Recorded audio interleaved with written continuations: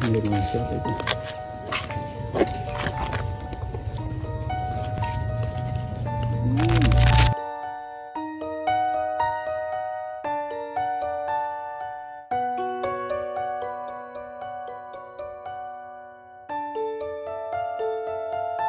pada tahun 2016 Bapak itu eh, apa yang Bapak ketahui tentang eh, dari awal ya datangnya eh, jenazah Vina kemudian dimakamkan di sini begitu.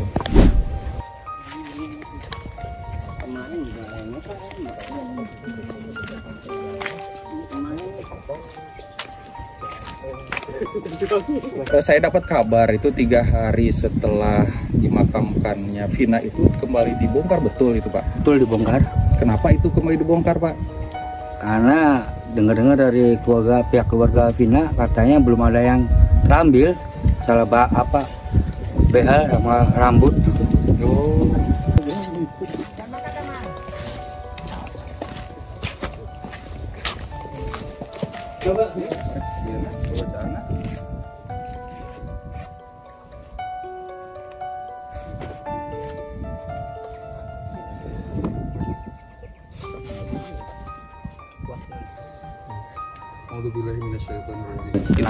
Bapak lihat pada saat yang berziarah kesurupan itu bagaimana Pak reaksinya? Bisa diceritakan Pak? Kalau saya juga belum tahu katanya ya kesurupan gitu aja, geram gem geram gerem aja. Tapi ngomong, ngomong gitu Pak? Ya kayak ya ada yang cerita juga, ada yang ngomong tapi kata yang ini Pak gimana ya? Hmm. Namanya juga kesurupan kita juga Nggak nggak paham, ya nggak jelas. Nah, mungkin ini tetap eh, Emang banyak kesurupan. iya. tapi orang tersebut tuh nyariin malah ada yang ke sana ada yang ke sini. Saya sendiri yang tahu ya. jadi saya juga "Cik, sebelah mana? Eh kamu nggak usah nyari nyari ke sana karena saya ini makamnya di sini. Tapi saya sendiri nggak begitu ini ya? gitu. Nah, pas anaknya bawa sini mas mau tahu nggak? Nggak tahu. Itu diantar sampai situ tuh malah dianya sendiri. Apa ya udah pak. Udah ada aja gitu finalnya lagi duduk. Itu makamnya di situ pak. Di mana? Itu lagi duduk di Hmm. pemakamannya. Saya kan kaget ya Tepat nggak itu si peziarah itu yang kesurupan eh, memberikan pesan gitu ke enggak mas. Eh, iya iya ada nggak Ada gitu. Biara, jadi cuman dia ngomong dia tuh minta tolong.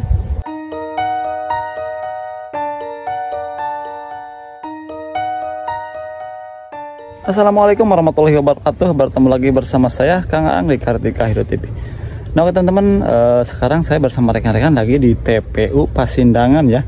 Yang mana eh, di, di TPU ini eh, Saudari Pina korban eh, pembunuhan dimakamkan di sini. Cuman ternyata ini adalah eh, Berbatas langsung dengan desa lainnya Yang di sebelah kanan ini adalah desa Pasindangan dan ini TPU-nya Nah, kalau Pina ini berada di TPU Jadi Mulia. Jadi ini satu uh, wilayah, satu pemakaman cuman yang punyanya uh, dua desa. Nah, saya bersama rekan-rekan ke sini sekalian kita ziarah dulu, sekalian kita pengen ngobrol sama uh, penjaga makamnya ya. Ya tidak agak paham, saksikan video ini sampai dengan tuntas. Nah, kalau dari depan ini eh, gerbangnya dari Desa Pasindangan ya. Kalau dari arah sana tuh dari jalan raya. Nah, ini makamnya di sini, TPU-nya di sini nih, teman-teman. Nah, oke teman-teman, jadi ini adalah suasana di TPU di mana tempat dimakamkannya Saudara Pina ya, Saudari Pina. Ini tepatnya daerah Cirebon. Ini Cirebonnya mana ya, Kang? Kota. Kota ya?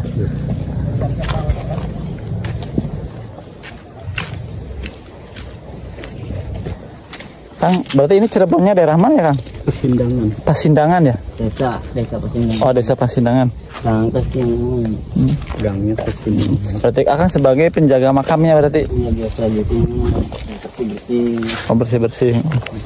Berarti ke saat-saat ini eh, pas eh, apa namanya? Pas eh, kemarin pemutaran film ini ramai kembali ke sini. Wah, ngantri pak. Ngantri Iya hari Minggu. Wah, Oh. banyak wartawan. banyak wartawan. Iya, Hmm, yang ziarah juga ada mungkin ya banyak. ziarah ya.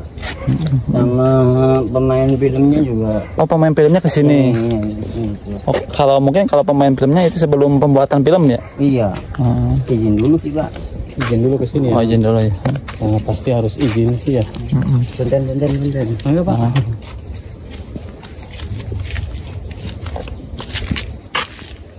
itu milik manusia apa itu Ya. Be- Masih jauh, Pak?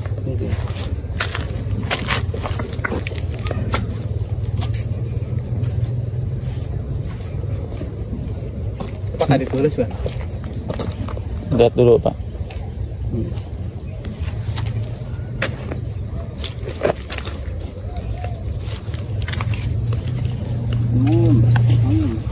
Teman jadi kita nungguin teman-teman dulu ya.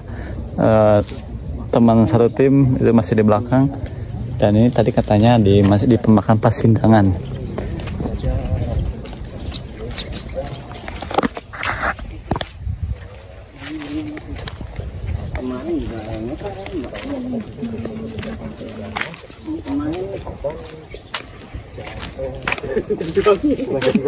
Gimana kan? Gimana gimana?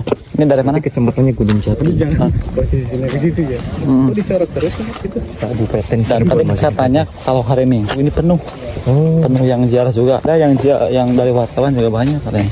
di mana Dari ini sini, oh yang ke makam Pena.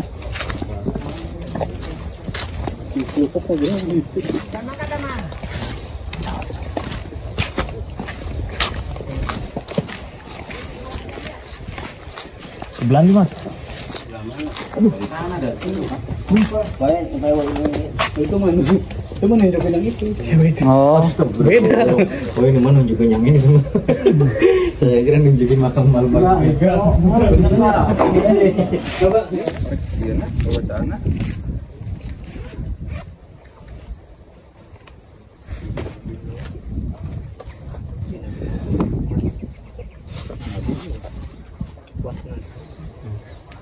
billahi minasyaitonir rajim. Bismillahirrahmanirrahim.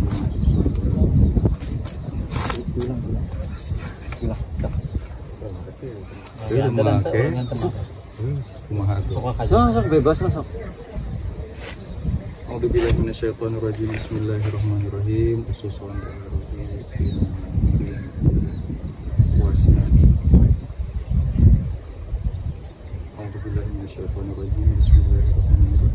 Alhamdulillahi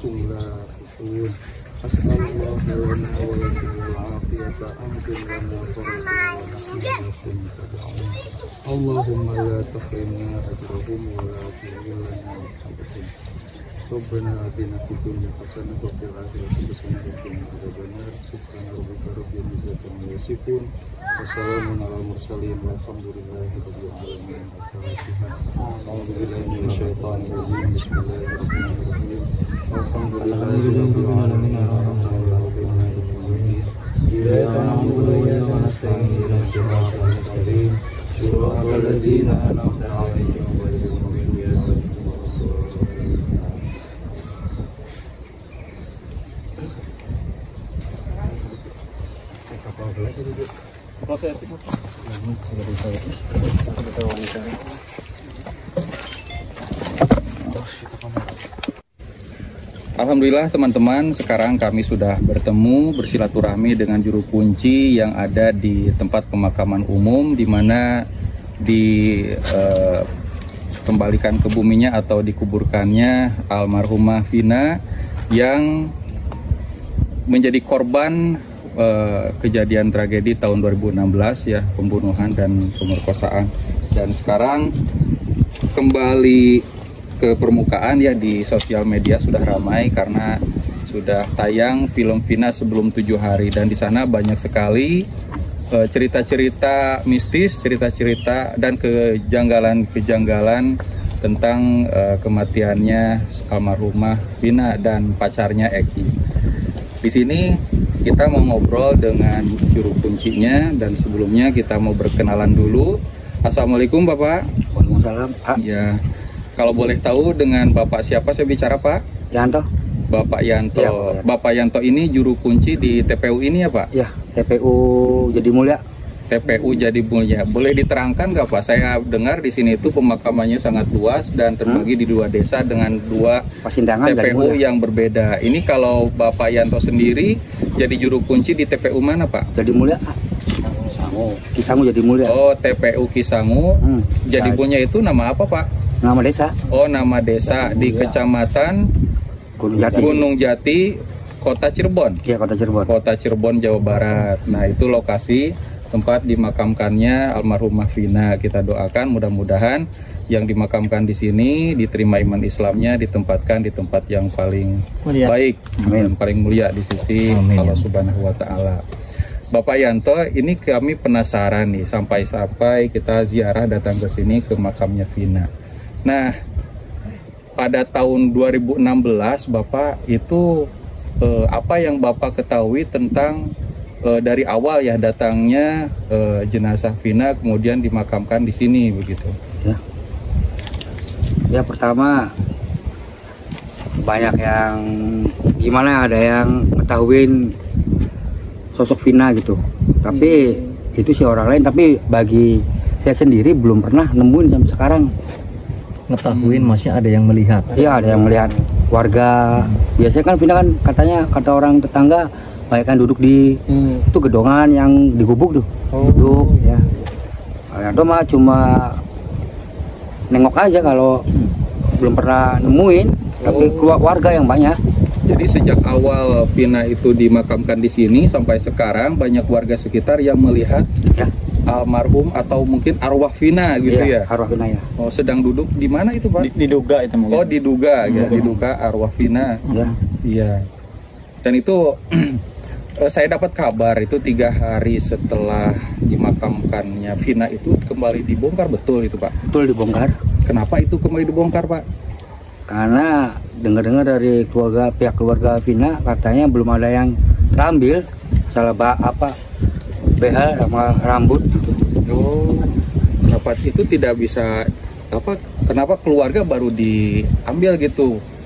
Eh, behel sama rambutnya itu taunya dari mana Pak? Itu Ya, mungkin proses dimandikan. ya katanya. Vinanya katanya banyak yang masukin ke kesurupan ke teman-temannya. Karena behel belum diambil sama apa rambut ya. ya? Kesurupan. Maksudnya be- behel gigi itu pak. Ya behel, behel, behel gigi ya. Jadi kenapa dibongkar itu? Karena ada temannya Lin, eh temannya Vina yang kesurupan dan ngasih tahu kalau ada barang-barang yang Belum terambil. terkubur ya, ter- ter- yang belum diambil Ya. dari makamnya Vina. Dan ini teman-teman eh, merupakan klarifikasi juga di video sebelumnya kita tanya ke seorang ahli hikmah itu yang kesurupan adiknya ternyata bukan yang kesurupan itu sahabatnya ya teman dan berdasarkan informasi yang kami terima itu namanya Linda gitu. Dan itu Bapak dari tahun 2016 sampai sekarang tahun 2024 saya dap- eh, dapat kabar kalau banyak yang berziarah datang ke sini dan banyak yang kesurupan juga begitu Pak. Itu mohon ceritanya itu bagaimana? ya, gimana ya mungkin cuma gimana lah pikirannya orang yang pada ziarah gitulah mungkin rasa takut apa gimana lagi gitu. kosong gitu ya ya lagi kosong pikirannya mungkin langsung rasupin lagi Hmm. tapi kalau pikirannya ya positif ya nggak insya Allah nggak pernah tapi emang, em- ya, emang banyak yang banyak ya emang banyak Banyak yang kesurupan. Jadi pas kejadian Pina itu ya jadi banyak yang kesurupan. ya Mm-mm. jadi kesuru- Awalnya itu kesurupannya kesurupan. itu arwah siapa sebetulnya pak Vina yang diduga Vina ya yang juga Vina Hmm. pasti semua nebaknya Vina semua Iya. hmm. pada tahun 2016 mau ah 2016 tiga bulanan lah yang banyak kejadian. Tiga bulan setelah Pina dimakamkan Ya. itu banyak yang ziarah ke sini dan kesurupan. Ya. dan kesurupannya tentang Vina begitu ya? Ya mungkin. Itu yang bapak lihat pada saat yang berziarah kesurupan itu bagaimana pak reaksinya? Bisa diceritakan pak? Kalau saya juga belum tahu katanya ya kesurupan gitu aja. Geram gem geram gerem aja Tapi ngom- ngomong gitu pak. Ya kayak ya ada yang cerita juga ada yang ngomong tapi kata Yandi pak gimana ya Hmm. dan juga kesurupan kita juga Nggak paham ya nggak jelas Nah, mungkin ini eh, emang banyak kesurupan ya kita mau eh, tanya-tanya juga nih sama temannya Bapak Yanto. mangga mangga mangga, Ya, assalamualaikum Bapak. Boleh diperkenalkan namanya siapa? Eh, siapa Pak? Ade. Punten eh, Bang mungkin. Iya. mic-nya pindahin dulu ya biar suaranya masuk. Langsung Di sini, Pak. langsung mah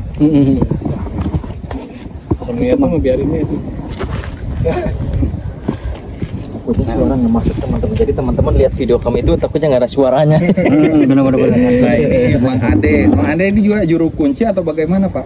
Kalau saya di sini bukan ya, cuman ya sekedar Menemani ya Iya. begitu. Menemani Aja. berarti ya sedikit banyaknya mengetahui cerita tentang eh, di pemakaman sini ya. Iya. Oh beliau yang gantikan Eh, Bapak siapa? Kenapa tadi? Ade. Ade, Bap- Ade. Iya, Mang Ade. Mang Ade aja berarti. Nah, kalau dari cerita Mang Ade sendiri bagaimana nih, Mang? Bisa diceritakan nggak ada yang ziarah ke sini itu kesurupan? Itu apakah beliau ini seorang konten kreator atau siapa? Ya, Katanya dengar-dengar eh, melihat sosok Vina itu duduk di atas makam itu bagaimana ceritanya betul atau tidak, Pak? Ya waktu itu sih pertama pertama itu ada orang ya perempuan yang masih gadis lah statusnya ya adanya. Waktu itu tuh padahal sih dia nggak kenal sama Vina tuh nggak kenal. Kenal. dia tuh dari Bandung. Nah alasannya tadi mau janjian sama temennya ketemuan di mana lah di Bandung gitu. Dia naik mobil tuh tapi terus arahnya malah ke Cirebon gitu. Arah ke Cirebon mungkin dia punya saudara sini. Nah dia naik motor tapi arahnya ke sini. Malah nanyain iya seolah ada yang nuntun gitu. Nah terus nanyain misalnya Vina. Itu nama Vina disebut sama dia juga. Vina nah terus emang kenal nggak sama Vina? Kan saya kan nanya gitu. Iya. ya kenal nggak kenal. Waktu itu juga pernah katanya tapi sekilas. Bilangnya gitu Mm-mm. itu medianya tuh nah udah gitu udah mas saya tuh ya udah kamu tahu nggak makamnya emang dia udah meninggal kan gitu pak Iya. ya udah saya udah meninggal Iya. nah terus anterin nama saya tuh sampai di sebelum sampai ke gedungan itu dia sempat dia udah matanya udah kosong Mm-mm. Gitu. Nah, kan kita sini orang tiga, empat sama perempuan satu yang padahal kan orang sini udah tahu semua nih. Iya. Nah, Vina tuh udah hafal ya. Iya. Tapi orang tersebut tuh nyariin malah ada yang ke sana, ada yang ke sini. Saya sendiri yang tahu ya. Jadi saya juga "Cik, sebelah mana? Eh kamu nggak usah nyari-nyari ke sana karena saya tuh ini makamnya di sini tapi saya sendiri nggak begitu ini ya. Hafal gitu. Nah, pas anaknya bawa sini mas, mau tahu nggak nggak tahu. Itu diantar sampai situ tuh malah dianya sendiri. Apa? Ya udah pak, udah ada aja itu. Finanya lagi duduk. Itu makamnya di situ pak. Di mana itu lagi duduk di Hmm. pemakamannya. Saya kan kaget ya. Ya udah mau ke situ ta. Yang duduk siapanya, Pak? Yang ngomongin dia Finanya. Vinanya lagi duduk di makamnya. Jadi makamnya kata dia tuh. Nah, akhirnya saya kan dianterin sampai situ minta anter sih. Dianterin situ makamnya tapi udah kosong. Mm-mm. Pas saya anterin sampai situ, terus megang itu ya, terus habis megang apa, maesan lah kata orang sini ya ini Hmm. kayak gini. Hmm. Iya. Nah, udah megang itu tuh, dia udah beda. Karena saya ngomong gini ya, coba kamunya nyebut-nyebut gitu doa ya. Bilang agamanya beda. Ya, terus saya tuh udahlah dia sebetulnya seolah kayak lagi apa hubungan ngobrol gitu tuh Iya. Nah, Ngobrol tapi kayak kita lihat gak ada Iya. siapa-siapa gitu ya. Hmm. jadi kita tuh kan ngerasa merinding ya gimana jadi sama saya tuh di Sari. pindah ya tarik begitu ditarik sama saya tuh seolah kayak ada yang narik lagi susah gitu tuh mas. Makanya teman-teman suruh udah nunggu di sini saya ngambil orang pintar kita aja gitu. Nah udah kayak gitu diambil orang pintarnya saya bawa tarik tuh. Udah mau mas sana sampai duduk di situ. Nah setelah duduk di situ tiduran apa didoain didoain sama orang pintar tuh. Nah begitu bangun lagi lihat dari arah sana. Iya. Ada lagi malah ngomongnya ada pasangannya. Oh. ada si Eki lagi duduk kan manggil manggil dia namanya. Iya, iya. ini nah terus orang pintarnya tuh udah makanya kamu gak usah ngeliat ke sana. Itu tuh dia manggil manggil aja. Udah biarin nah, biarin udah biarin. Kamu jangan diliatin terus. Cuma gitu aja. Hmm, baru disadarkan oleh orang pintar dan mungkin disuruh pulang atau bagaimana? iya disuruh udah kamu udah jangan di sini sepulang. Jauh dari sini. So kamu pesan aja. Sempat nggak itu si peziarah itu yang kesurupan eh, memberikan pesan gitu ke enggak mas. Eh, iya iya ada bukan Ada gitu biara ya? jadi cuman dia ngomong dia tuh minta tolong. Sama Oh, minta tolong sama yang perempuan itu. Minta tolong katanya ada yang belum diambil ya. Ngomongnya tuh gitu.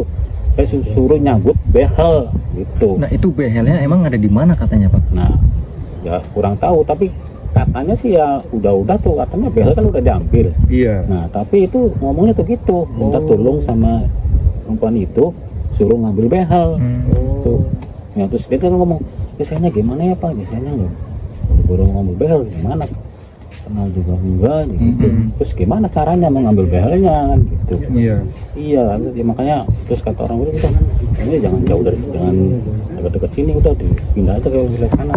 Gitu Nah setelah kejadian itu Pak pesannya itu diteruskan ke keluarga atau bagaimana Pak atau udah aja gitu? udah aja tahu cuman bilangnya gitu aja emang gitu tuh ada yang mau diambil tapi minta tolongnya itu sama dia Iya. suruh ngambilin ya, makanya dia juga bingung gimana caranya mau ngambil behelnya gitu Ke orang yang tidak Iya. tahu Vina sama sekali begitu Iya. ya. Itu berarti kejadiannya siang Pak. siang Nah kalau Bapak sendiri itu siang malam di sini terus di area makam ini terus. iya kalau siang kalau malam sih kadang-kadang aja kalau kita lagi ada orang meninggal meninggal kadang-kadang Berarti kebetulan lagi ada yang meninggal ya. ya, malam meninggal ya? gitu tuh kadang kita sih nunggu Ya barangkali selama Bapak eh, di makam ini ada tangisan, rintihan atau apa. nggak pernah dengar saya Hmm. nggak pernah dengar walaupun sampai jam 9 jam 10 ya Tapi masyarakat di sini juga sama nggak ada yang dengar. Nah kalau untuk yang masyarakat sini saya kurang jelas gitu. paling berziarah orang jauh aja Oh. Iya. orang-orang yang jauh Dulu juga pernah lihat ya, ya. orang Iya.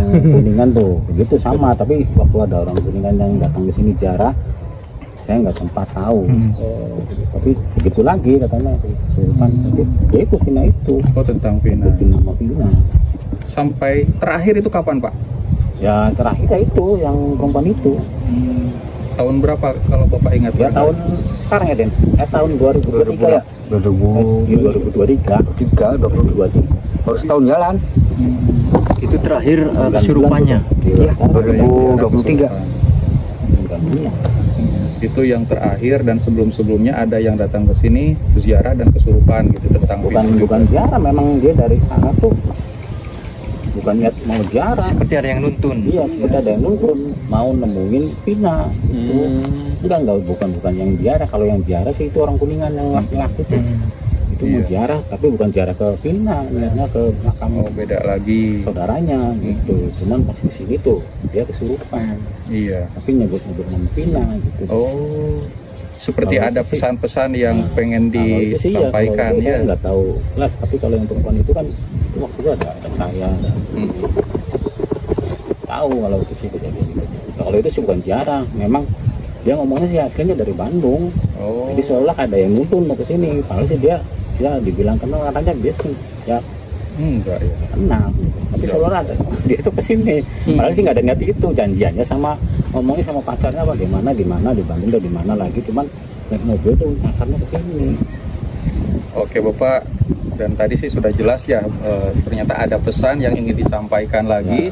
Dan terakhir tahun 2023 kepada orang yang tidak dikenal yang datang ke sini dan eh, bilangnya ada yang masih tertinggal yaitu behel walau alam bisawab.